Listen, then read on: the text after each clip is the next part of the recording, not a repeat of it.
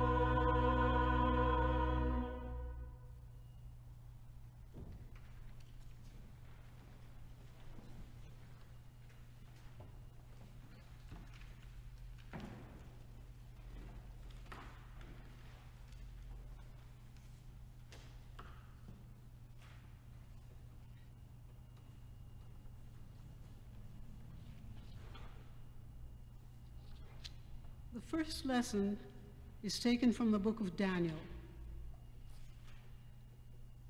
King Belshazzar made a great festival for a thousand of his lords, and he was drinking wine in the presence of the thousand. Under the influence of the wine, Belshazzar commanded that they bring in the vessels of gold and silver that his father, Nebuchadnezzar, had taken out of the temple in Jerusalem, so that the king and his lords, his wives, and his concubines might drink from them. So they brought in the vessels of gold and silver that had been taken out of the temple, the house of God in Jerusalem, and the king and his lords, his wives, and his concubines drank from them. They drank the wine and praised the gods of gold and silver, bronze, iron, wood, and stone. Immediately the fingers of a human hand appeared and began writing on the plaster of the wall of the royal palace next to the lampstand. The king was watching the hand as it wrote. Then the king's face turned pale, and his thoughts terrified him. His limbs gave way, and his knees knocked together. The king cried aloud to bring in the enchanters, the Chaldeans, and the diviners. And the king said to the wise men of Babylon, Whoever can read this writing and tell me its interpretation shall be clothed in purple, have a chain of gold around his neck, and rank third in the kingdom. Then all the king's wise men came, but they could not read the writing or tell the king the interpretation. Then King Belshazzar became greatly terrified, and his face turned pale, and his lords were perplexed. The queen when she heard the discussion of the king and his lords, came into the banqueting hall. The queen said, O king, live forever. Do not let your thoughts terrify you or your face grow pale.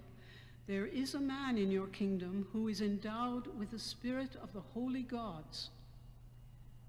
In the days of your father, he was found to have enlightenment understanding, and wisdom like the wisdom of the gods.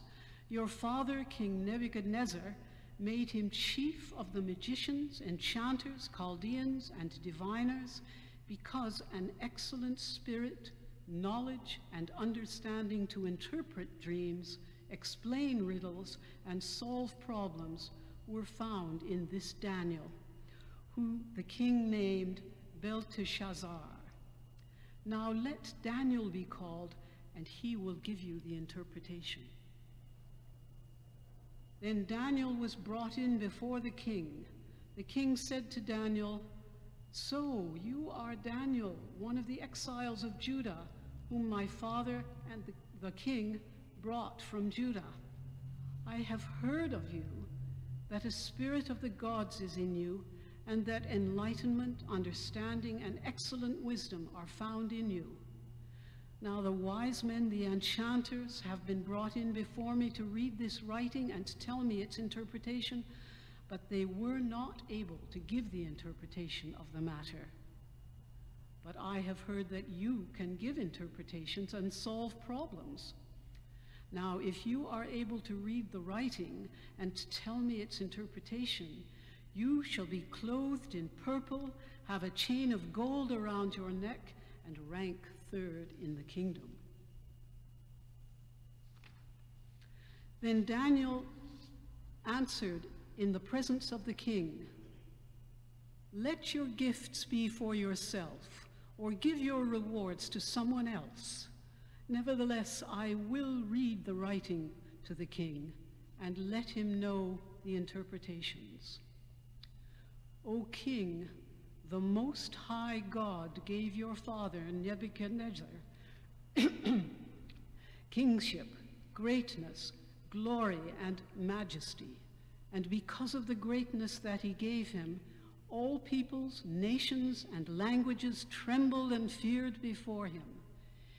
He killed those he wanted to kill, kept alive those he wanted to keep alive, honored those he wanted to honor, and degraded those he wanted to degrade. But when his heart was lifted up and his spirit was hardened so that he acted proudly, he was deposed from his kingly throne, and his glory was stripped from him. He was driven from human society, and his mind was like, made like that of an animal. His dwelling was with the wild asses. He was fed grass like oxen, and his body was bathed with the dew of heaven until he learned that the Most High God has sovereignty over the kingdom of mortals and sets over it whomsoever he will. And you, Belshazzar, his son, have not humbled your heart, even though you knew all this. You have exalted yourself against the Lord of heaven. The vessels of his temple have been brought in before you, and you and your lords, your wives, and your concubines have been drinking wine from them. You have praised the gods of silver and gold, of bronze, iron, wood, and stone, which do not see or hear or know, but the God in whose power is your very breath, and to whom belong all your ways, you have not honored. So from his presence the hand was sent, and this writing was inscribed. And this is the writing that was inscribed. Mene, Mene, Tekel, and Parsin. This is the interpretation of the matter. Mene, God has numbered the days of your kingdom and brought it to an end. Tekel, you have been weighed in the balance and found wanting. Peres, your kingdom is divided and given to the Medes and Persian. Then Belshazzar gave the command, and Daniel was clothed in purple. A chain of gold was put around his neck, and a proclamation was made concerning him that he should rank third in the kingdom.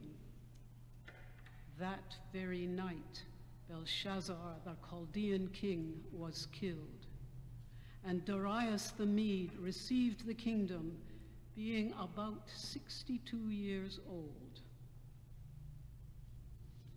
Here ends the lesson.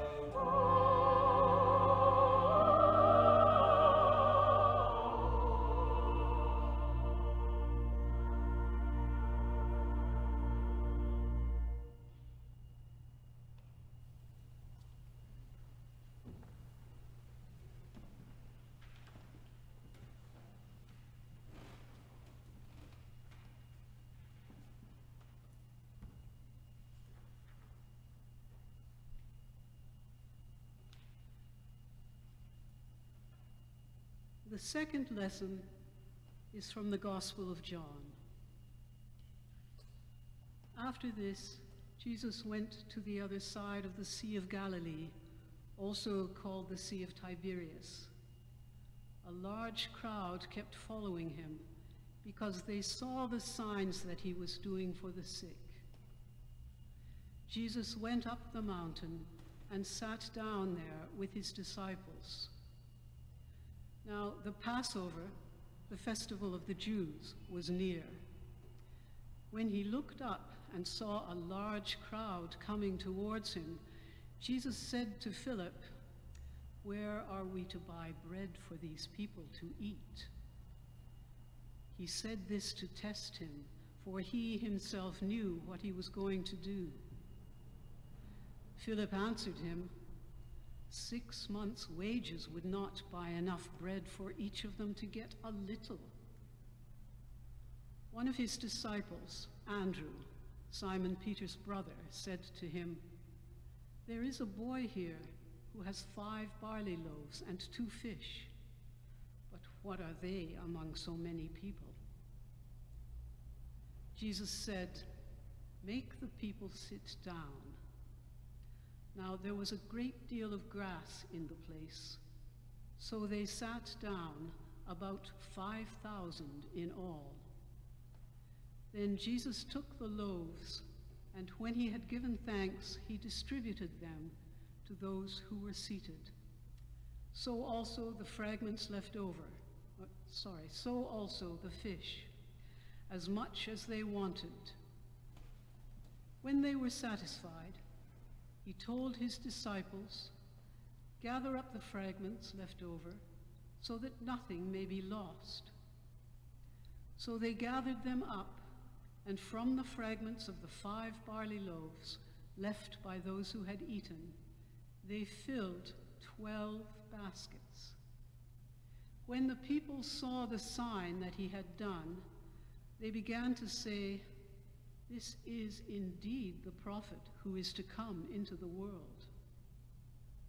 When Jesus realized that they were about to come and take him by force to make him king, he withdrew again to the mountain by himself.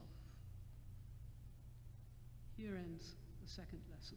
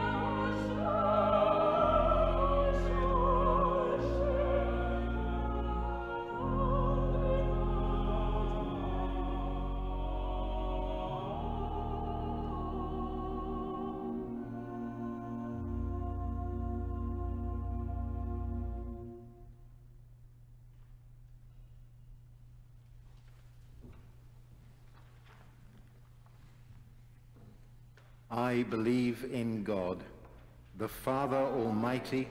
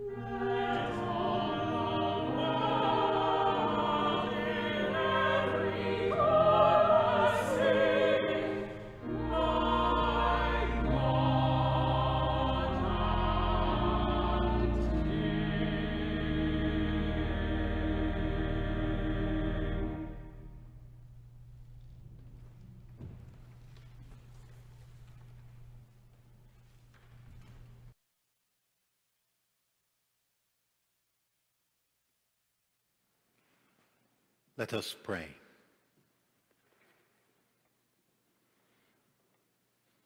As we begin our prayers for the world and for the church, we remember that yesterday was the Transgender Day of Remembrance,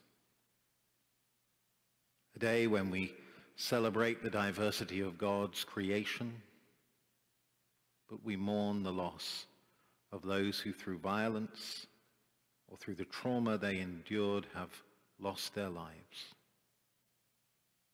We remember those who are transgendered and non-gender conforming.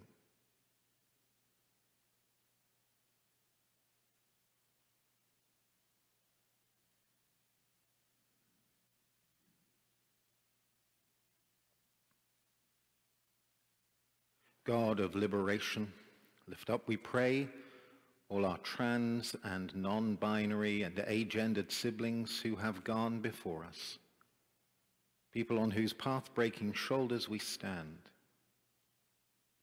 Be with us as we mourn these, your beloved, lost to violence and suicide this year.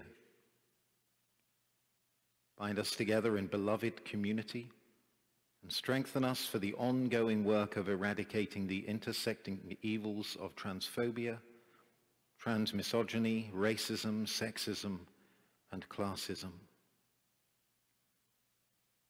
May light perpetual shine upon those we have lost.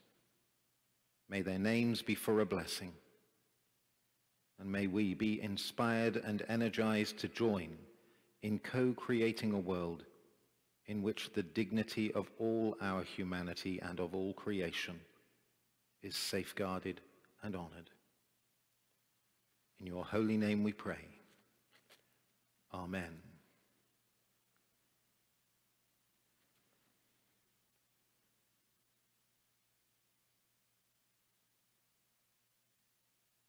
In this time of pandemic, as the world continues to be anxious and fearful. We pray for peace. We pray for those who are seeking to guide us through pandemic, those who are treating the sick, those who are on the front lines, first responders, personnel in medical facilities and long-term care those who continue to provide the goods and services that we need.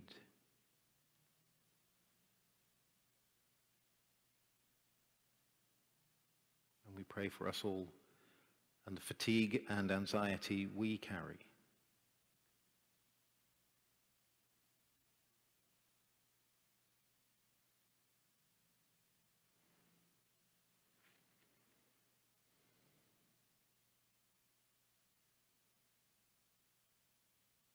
O gracious God, the refuge of all them that put their trust in thee. We turn to thee in this time of trouble. Direct the course of this world, we humbly beseech thee in accordance with thy holy will. Take away whatever hinders the nations from unity and concord, and prosper all counsels which make for righteousness and peace, through Jesus Christ, our Lord. Amen.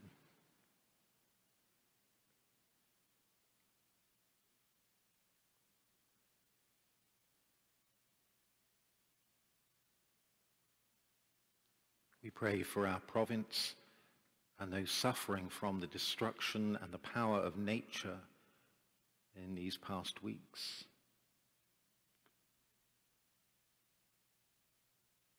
We pray for those seeking to rebuild, those seeking to restore, those continuing to seek to rescue and to care.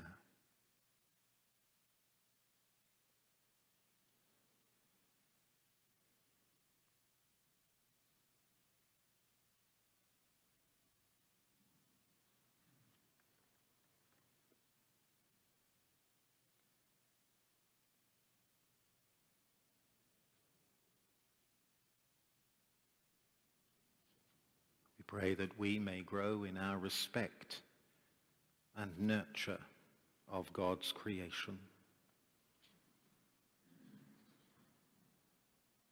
Almighty and everlasting God, in giving us stewardship over things on earth, you made us fellow workers in your creation. Give us wisdom and reverence so to use and to care for the resources of nature that none may suffer from our abuse of them, that generations yet to come may continue to praise you for your bounty through Jesus Christ our Lord. Amen. And we remember in prayer all those known to us who are sick or struggling, those who are in any kind of need. We pray also for those who have none to pray for them, those known to God alone.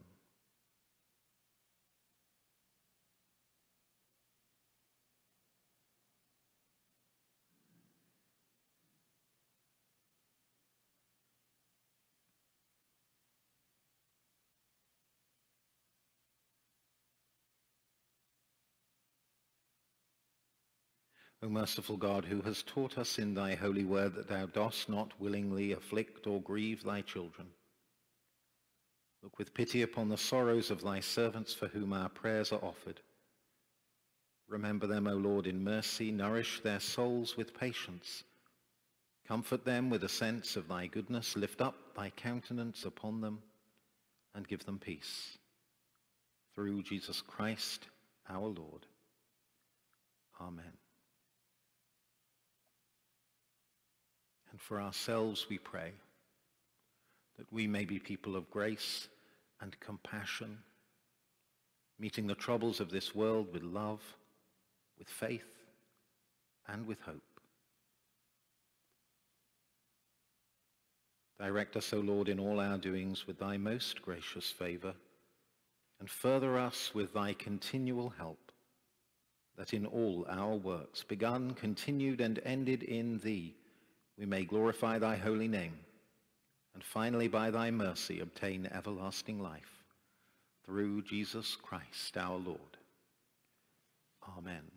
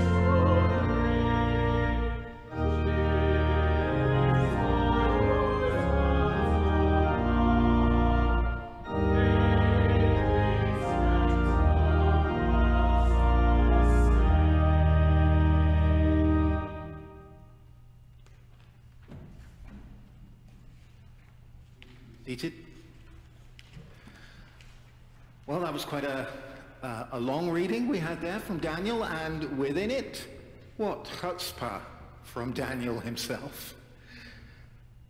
Walking into Belshazzar's feast and letting the king know in no uncertain terms, and this is a paraphrase from the original Hebrew, he is toast.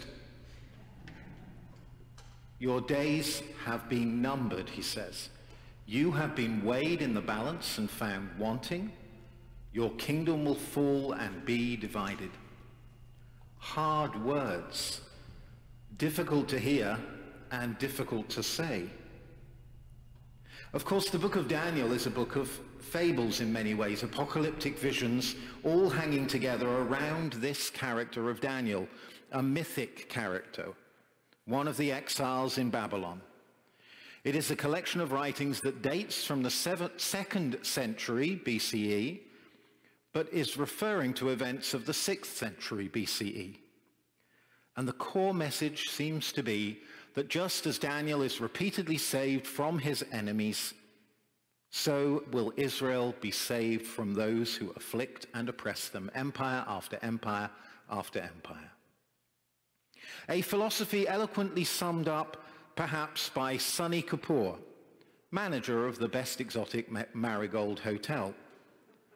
It will be all right in the end, and if it's not all right, it's not the end. Thank you to Michael King for giving me that proper quote because I got it wrong when I tried to say it to him. And to the internet for letting me know that the author of that is actually unknown, but it was made popular originally by John Lennon.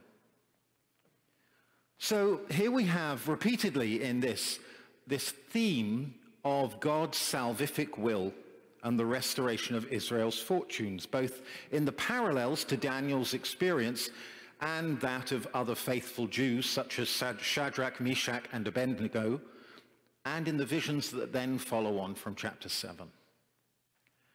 And with the fabulous nature of these stories, we still have this core value that is given to those who hear the stories. Remain faithful.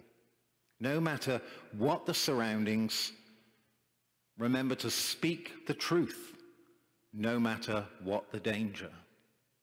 And that is Daniel's role in this feast, to speak the truth, to point out the king's folly and God's retribution for the misuse of the temple vessels and the haughtiness of the king, to speak truth to power.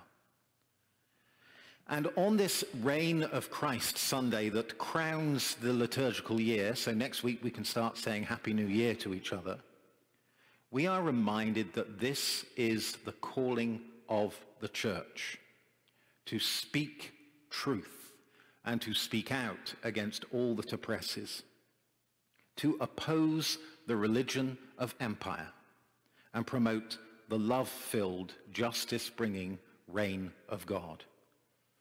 As I've said before, I believe that reign rather than kingdom is a helpful corrective to either the idea that God is like a king, like any human king, namely male and patriarchal, and that somehow that this kingdom is a place rather than a way of being.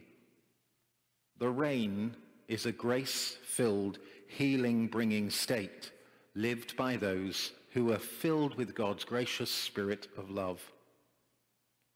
But there is a hard truth that we as the church need to hear. And indeed that we as the church need to speak to one another. That we as an institution have been weighed in the balance and found wanting.